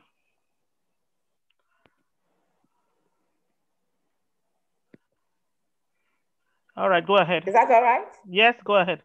Okay. So, yes, so we were, uh, we were talking about the, um, the conditions for taking the antibiotics before or after food, and Yes. that there are some medications you don't need to take in full stomach. You take them in empty stomach, Mm. and uh, they will write it for you while giving you the medication. They will let you know that this medication is going to be in empty stomach. In fact, I tell people generally, I say any of the medication that is four times a day is meant to be in empty stomach because looking at it, you're supposed to take it by 6 a.m. when you're not, when you have not yet taken your breakfast, and then you take it again by 12 noon when you are about to take your uh, uh, your lunch, and you take it at 6 p.m. And then the next is supposed to be 10, but sometimes we say we can, you can take it by 11. So those ones are purely in empty stomach. And then another thing is some people use like um, drinks, uh, minerals, wine, and uh, to take their medication. That is not right. It may affect the absorption of the um, the antibiotic in the stomach and the availability of the uh, medication in the in the blood. So take your medication with water, except otherwise stated. Some will take with milk.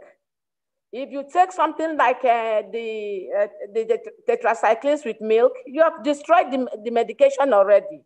So you don't take antibiotics with any other thing apart from water. So take them in water, with water. Well, we prefer that you take them with ordinary water or a little warm water. Well, some can take it with cold, but it's not that advisable. So we are talking about the using antibiotics correctly. And we have mentioned a few things.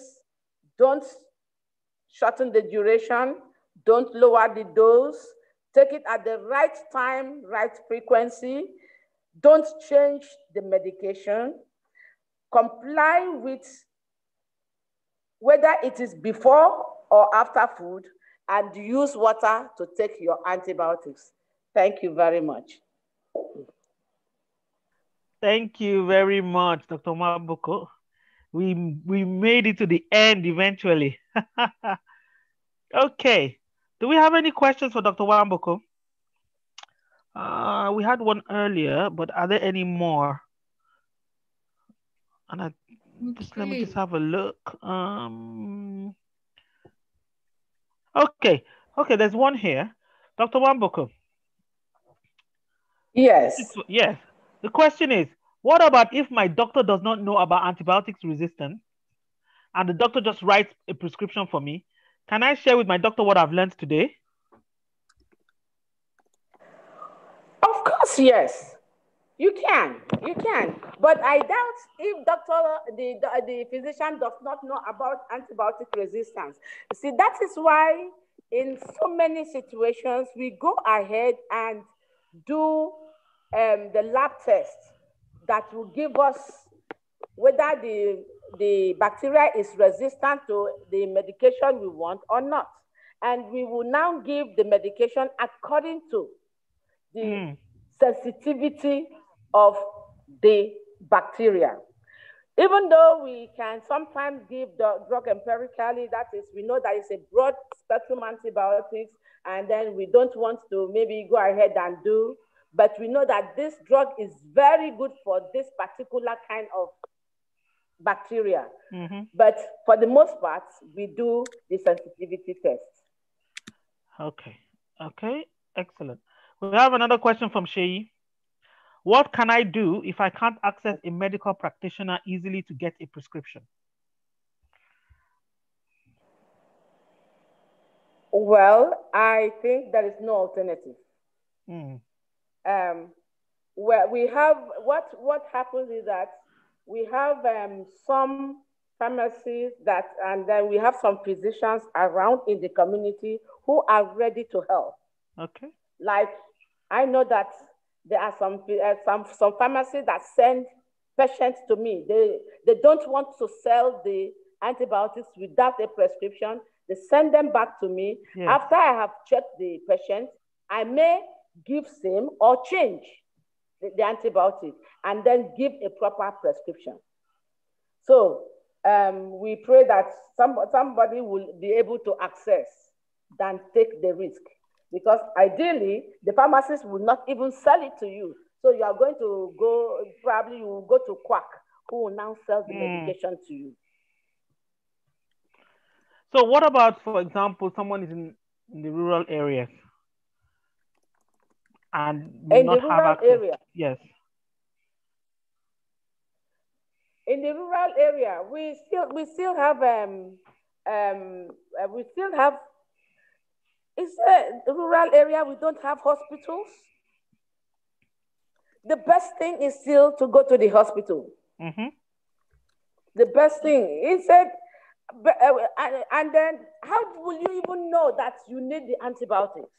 Just like we have been, we, we've, been, we've been taught. Something, yes. many things are viral.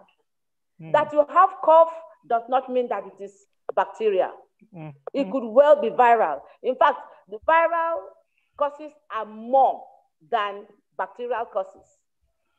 Diarrhea, it could be well, but uh, it could be well viral. Diarrhea uh, can be caused even by malaria. So, and then you go ahead and take antibiotics. So it is best to still try to get the physician. These days, we also have consultation uh, on uh, online. Okay, yes. On phone. Yes. So, so, all those at least are to, you know, uh, improve people's ability to access the physician. Okay, that's great. Yes, that's true. We have teleconsultations coming up now where uh, patients can speak to healthcare yes. professionals, where, like you said, uh, video on their mobile phone and so on. Okay, thank you. Okay. so another question How can I protect myself and my family from antibiotic resistance? Sorry, uh, let, let me get that again. How can I protect myself and my family from antibiotic resistance? By not self medicate uh, by avoiding self medication with antibiotics. Don't take, don't give to the children. Whenever it is prescribed, make sure you complete the your prescription and follow the proper use of antibiotics like we have just talked about. That is the best way to prevent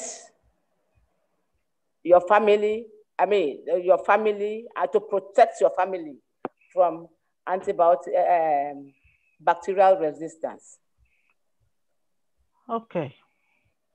Yes, I mean, thank you for that. Our next week we'll also be talking more about the preventative measures that people can take yes. for um, to avoid infections. All right, okay. So um, there's a comment or question. Please, how come 80% okay.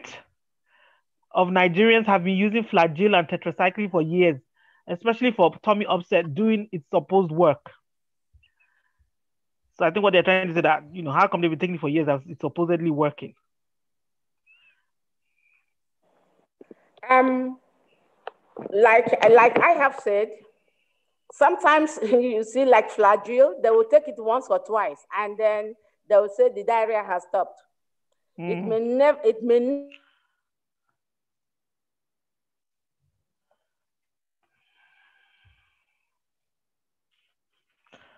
Does anyone else in the room want to take that question?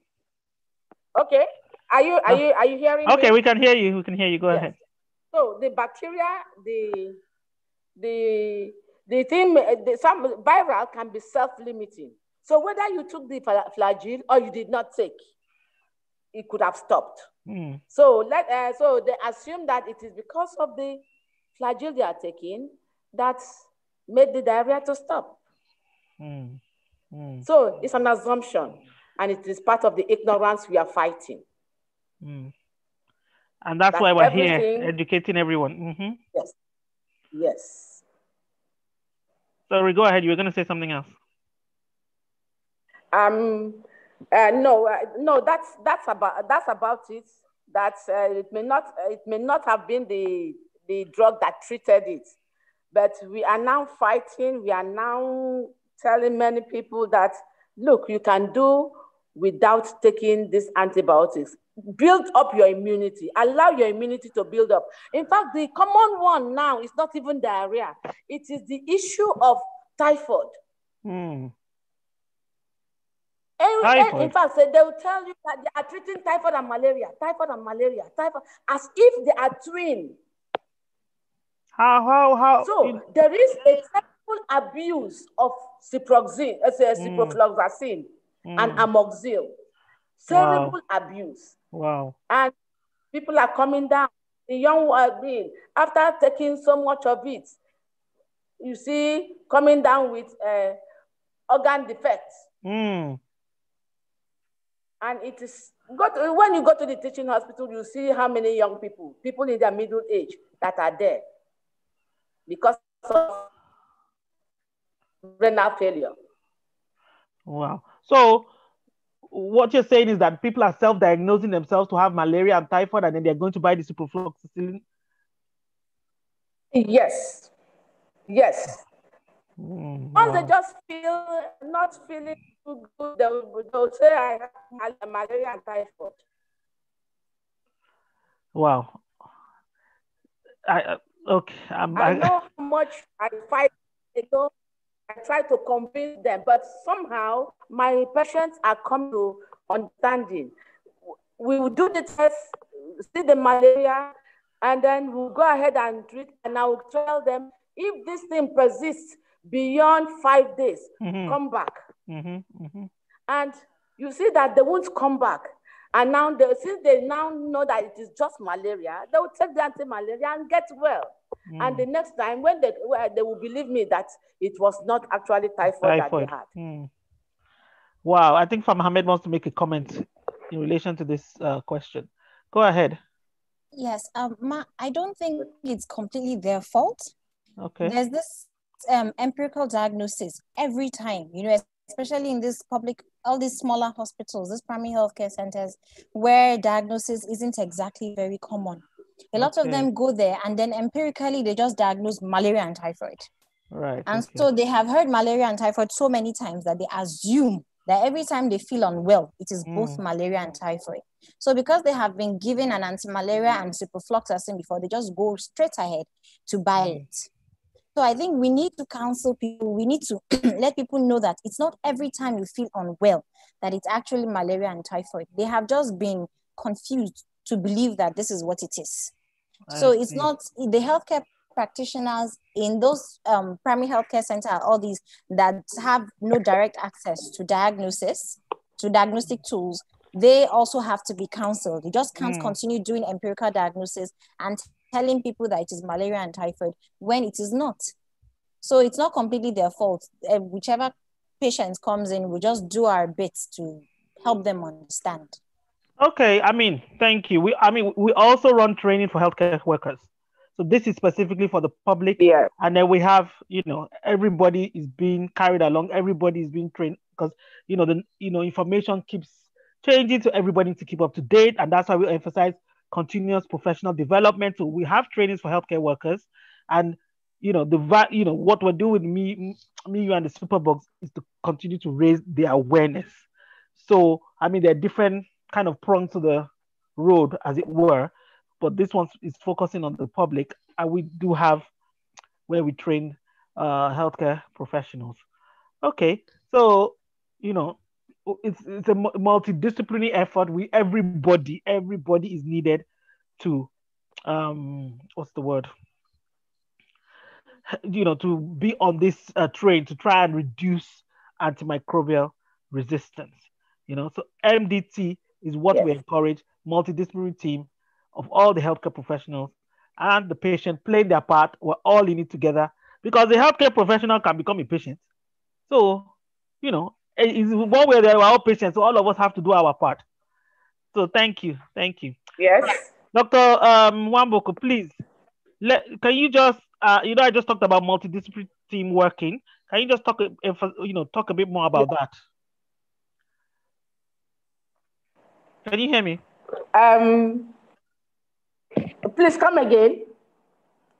I said, could you please Hello? talk about the importance of the multi multidisciplinary work team working? That everybody is working together, all the different Oh. healthcare professionals. Yes. Um, yes, it's very, very important. One, okay, maybe the doctor sees the patient and um, clinically he suspects something.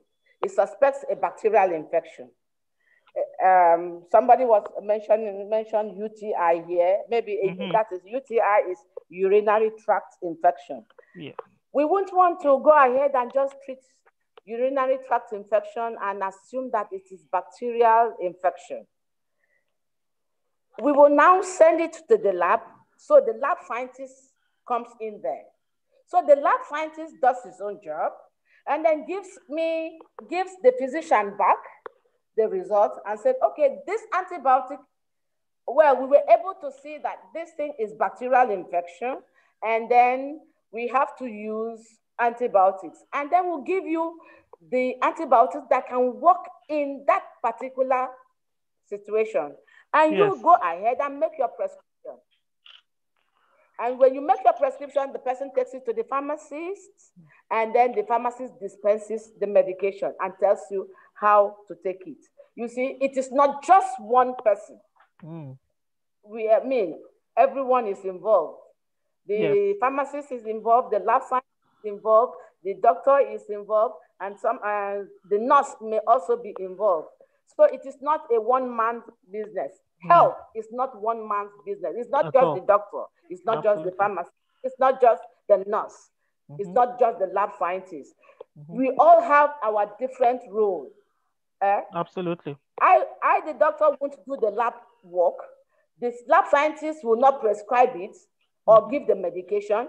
The pharmacist would, would get the prescription and then give the medication.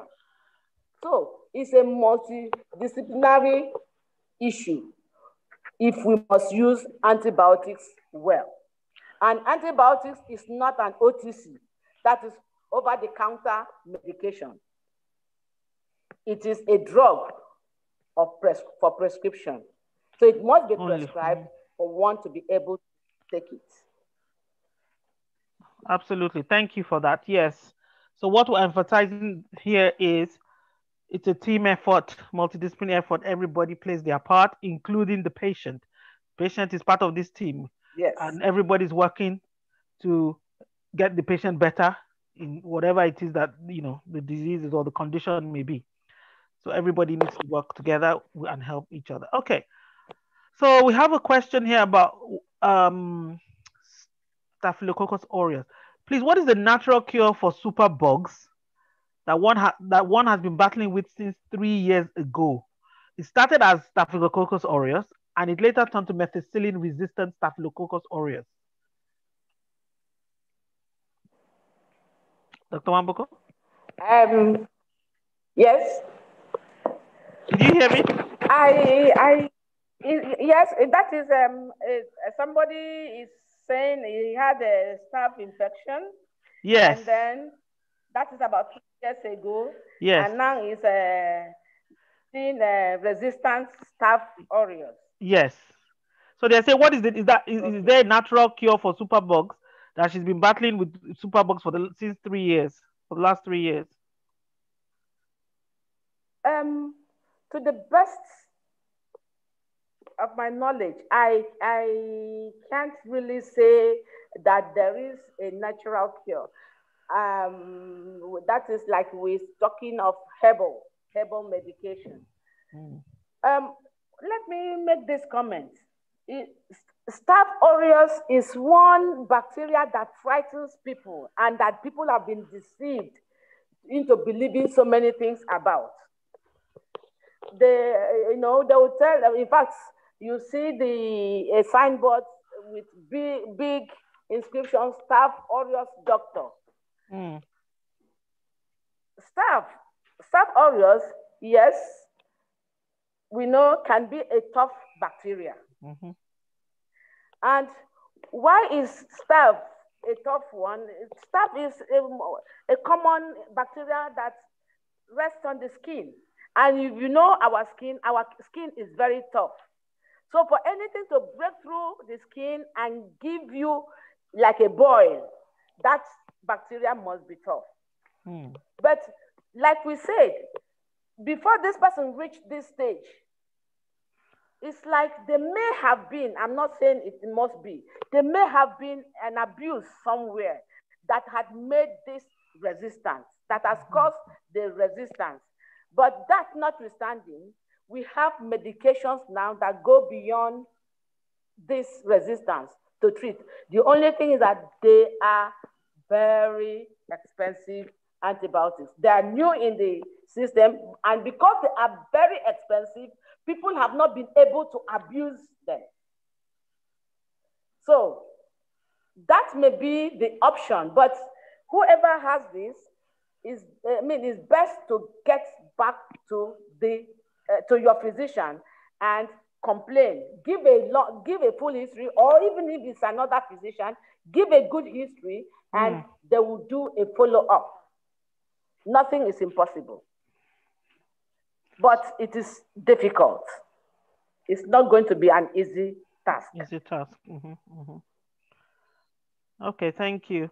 I mean, you know, we're just talking about um, um, possibly people just going into you know certain places and just buying drugs without prescription. So there's a there's a question and mm-hmm. comment too. There are two, and I'm gonna I think they are, they are linked together. Uh, and the first one says, is there any clinical quality checks in Nigeria? If there is, why are they not doing anything about all those that are not operating up to standard? So that's kind that's that's one side, and then the other side is um, another com- the co- other comment is from Oluwaseyi Babalola and said this is very informative, and I suggest we get more information in the newspapers, radio jingles, blogs, and most especially chemists and pharmacists. Government intervention is needed too. So that government intervention bit is linked, you know, back to the first uh, statements to question about quality checks. So, government interventions, question mark. Yeah, well, uh, like every other thing in Nigeria, we know the right thing, but are we doing the right thing? Mm. Somebody walks into um, um, a chemist because I just assume that pharmacists will not want to. Uh, patent drug seller. The patent drug person is supposed to sell OTCs according to the license. But our people don't know, and now people don't know the difference between the patent drug uh, drug seller and the pharmacy. Mm. And these hmm. people will pack the antibiotics and keep there. Right. And then they will just go, and then without prescription, they will sell. Mm. So it's a big problem. It's a big problem. Everybody, everyone is trying to leave.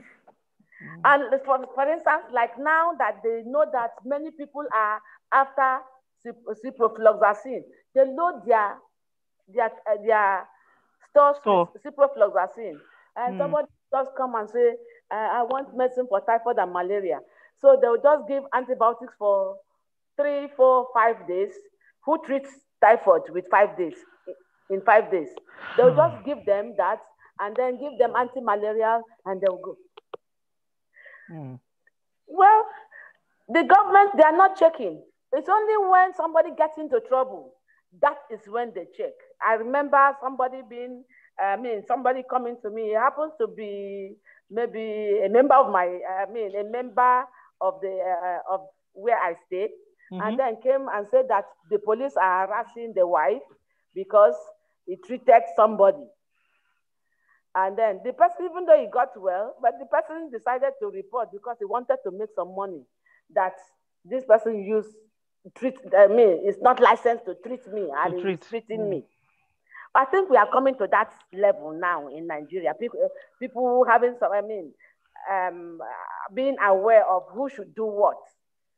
So, it's our government actually need to do something. They need to do something and clear some of this quackery out of the system. Out of the system. Because it is not of the health of people. So I mean, and they also need to establish real health centers in the rural areas. Areas. Mm. Absolutely. So as as the comment from Luashe says, we you know awareness needs to increase by a lot. What you know, we've started with this, and with you know in collaboration with other people everybody's trying to do their bit. I guess we you know we can't always wait. We just have to do our bit and do what we can and here we are. Thank you very much dr wamboko for that. Um, well ladies and gentlemen facebook youtube on the radio on periscope we have run out of time unfortunately um, it's been very, very informative. It's been very interesting. It's been eye-opening.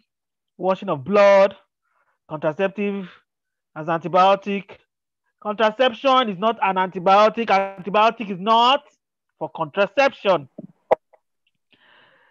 Medication is for you alone. You, you, you, you, you, you, you, no one else. Do not share. It's not a sharing thing. If they give it to you, it's for you. Okay? We've learned so much here. Um, this is just part one. We have more for you next week. But uh, I'll hand over to Dr. Anie Orode as she will tell us more. Thank you, everyone, for joining. Dr. Okay. A, over to you. Awesome, awesome, awesome. I'd just like to say thank you to everyone Thank you so much for joining in on Periscope, on Twitter, on Facebook, on YouTube, um, and on Mixlr Radio, uh, me, you, and the Superbugs live radio station. So you've just, as Flora said, you have just listened to part one of the Me, You, and the Superbugs 2020 event. As you can imagine, we didn't want to cancel. So because of the pandemic, we've had to take the event virtual. And I think in a way that has been very beneficial because we have been able to come to you in your living room, in your kitchen, wherever you are, at the hairstylist, we are right there with you. And the great thing about this is that you can watch the video over and over and over again. You can share the links with your friends and your family. Why don't you send the link right now to even your doctor or that nurse that you know? All right. So moving forward, um, I'd like to say thank you so much to all our sponsors and partners over the past two years. And Superbugs started as a, as a small project in 2018. And over the past, we would, it would not be possible without our sponsors and partners. We're extremely grateful to all our sponsors and partners who have contributed in some way since 2018. University of Oxford, which sponsors the research aspects of MIU and the superbugs that have, the research has been going on since 2018, actually. The Wellcome Center for Human Genetics at the University of Oxford, Victory Drugs Pharmacy Nigeria, Encapsulate Healthcare Solutions, Inkaba Biotech, Ibadan, Nigeria, Brains Premier College, the Royal Society of Biology UK, Shepherd Specialist Hospital, Lagos, Nigeria. I'll just like to say thank you. And we get that comment that came in just a few minutes ago. We get that comment about we should go on radio and other places and jingles, you know, and that we should visit all the hospitals in Nigeria. It makes me so happy that people identify that there is a need for continued awareness and education of the general public, as well as training in antimicrobial stewardship for our healthcare professionals, all our healthcare workers in different places in Nigeria. As we've said earlier, as we've heard from so many of the speakers today, in order for us to reduce the spread of antibiotic resistant infections, everyone is required. So we welcome sponsors and partners Perhaps you're a hospital and you want us to come and talk to your healthcare workers. It would be a pleasure. All right, so everyone is needed in order for us to prevent an epidemic in Africa and in our own country. We start from home, Nigeria. So you and I, me and you, are very important in this. So thank you to all our sponsors over the past years. Now, you and the Superbugs would not be possible without our wide range of speakers over the past two years. Today, you have been listening to Mr. Jide Babayeju from the University of Ilorin, who has spoken to you about life without antibiotics, the biggest pandemic. And I think that was very, very important. You know, we learned about what antibiotics are, why they are needed, and what life would be if we didn't have antibiotics. One of the things I picked up was, imagine if someone had a simple wound on their hand right now, you know, your immune system is fine. It can easily, you, you easily heal. All right. But if they are now super bugs, for example, we already have an example, methicillin resistant Staphylococcus aureus. And even our other speaker, which I'll come to in a point, from Aishat Olufadi Ahmed, mentioned about vancomycin resistant aureus as well. Imagine if that got into that small wound and there were no other antibiotics left to treat it that would begin to spell a very serious situation. People could then begin to die from very simple infections. And that's why we need to start now. And then we had from Aishat Olufadi Ahmed, also from the University of Ilorin, talking about antibiotic misuse. Can antibiotics really work for that infection?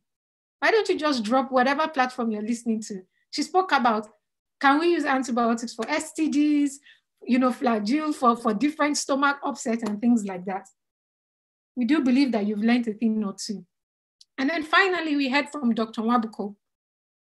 We're so glad that the internet connection finally worked towards the end because she was able to take a wide of questions. She was telling us how to use antibiotics correctly. Did you know that a lot of times you shouldn't just take food with your antibiotics? All right. And if you're having any problems, you should, while you, even if though the antibiotics has been prescribed and you're having a particular issue, you should go back and speak to your doctor. Because even if you don't like medicine, there could be an alternative. But if you don't talk to your doctor, they won't be able to help you. Okay, so moving forward, this is not the end, all right? We want to give you six days to digest all of that information. Okay, we are going to have next week Saturday at the same time, 4 p.m. Nigerian time. We're going to have this role of speakers, you know, Dr. Chinyere Okoro, who will be talking, delving more into how antibiotic resistance actually occurs and telling us that everyone has a role to play.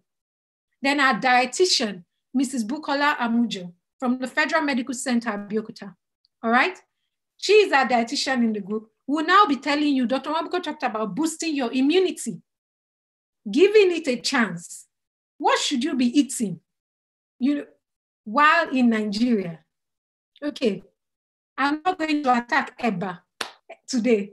So, because I, I, I'm not going to do that. But let our dietitian come and tell us what we should be eating.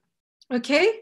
Because if we have good immunity, we can fight off some of these infections that we think we should be using antibiotics for, which we shouldn't.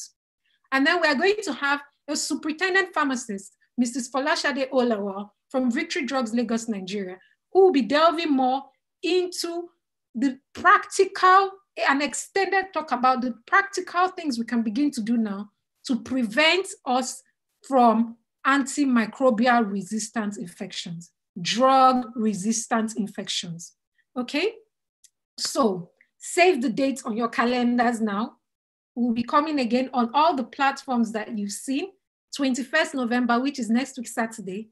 You can still continue to drop us your questions. So don't think that this is the end. We have a Telegram group, all right?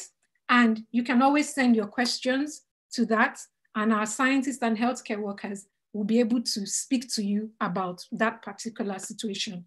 You don't have to share very private things. We can always signpost you to the right person that would do handle your case. All right, okay. So it's been a long day. Thank you so much for being patient on the radio, on, on all the platforms. Yes, thank you so much, our attendees. Your feedback, what did you think about the event? It's very important that we hear from you. Please do take a screenshot right now of this link. Speakers, please share the links with your network. We want to hear from you about how you found me, you, and the Superbugs Day One 2020 events. Okay, and there is an opportunity now for everyone to register for 2021. We're very hopeful that there will be no pandemic, so we can come and meet you face to face. All right? So on Eventbrite, if you search me, you, and the Superbugs 2021, you should be able to find the registration page for you to begin to register from now for 2021. All right. This is something that we always do. We always do this thing that I'm going to show you now in every of our events. And we have been actively recruiting antibiotic guardians in Nigeria. The great thing from last year was that the antibiotic guardian office now has a site specifically for Africa the one for Europe and all the other Western countries that has been boosting. Yes, African people have also been joining there, people from Africa. But now we have our own, all right? The one for the UK and all of that is almost at 10,000, but it's been going on for years. Ours is gradually rising. So this is another opportunity for you to take a screenshot, for you to make a pledge. This is what I am going to do differently with the information that I have heard. Remember, the power is in your hands. The power is in my hands as well. So everyone, if you're not yet an antibiotic guardian, please go to antibioticguardian.com forward slash Africa and sign up today. Sign up right now. Then send us a message on whatever platform you're watching to say, I have signed up. And even when you're completing that uh, registering for on Eventbrite, sign up. Perhaps next year you will get an antibiotic badge. We, we have been very um, blessed to be able to get the badges from the Antibiotic Guardian Office in the UK. Those have been one of the people that have supported me, you and the Superbugs by giving us these badges and that you can wear it proudly. Next week, all of us will come with our badge. So I'll show you my own. It's something to wear with pride. Now, what are some of these pledges that you can make?